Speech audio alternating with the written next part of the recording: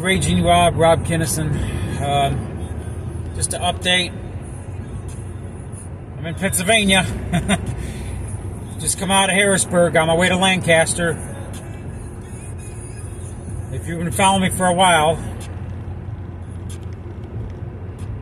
basically, I, uh, the Pennsylvania Department of Agriculture has arrested Amos Miller, Amish guy, for selling what I believe was unpasteurized. What's the right word?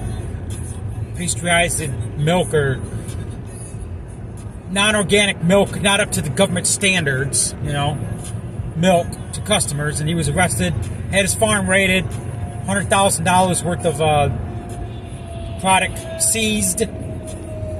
Anyway, so today rally 1130 Duke Street Courthouse Lancaster 1:30 p.m.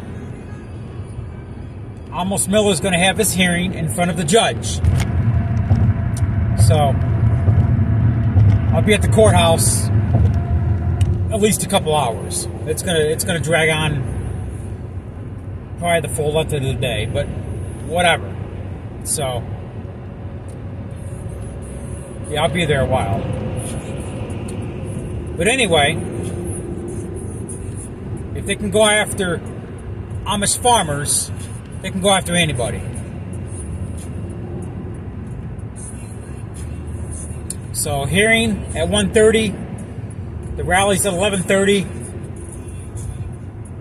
I'll do lots of pics and videos. I'll keep people updated.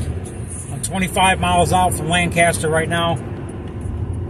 On my way, so just want to give an update. I'm okay. Pennsylvania hills, man. Oh my God, they got some hills here in Pennsylvania. Holy shit. Yeah, and the Pennsylvania Turnpike. That that's highway rape right there. You know, as much as they charge going across the turnpike, but and the traffic here. Oh my God. Got so many twists and turns and freaking rotaries and all this shit. You know. So anyway, that's Pennsylvania. But anyway, I'm on my way to the courthouse right now. Be there in about less than a half an hour. So just want to keep everybody updated. See y'all in a little bit.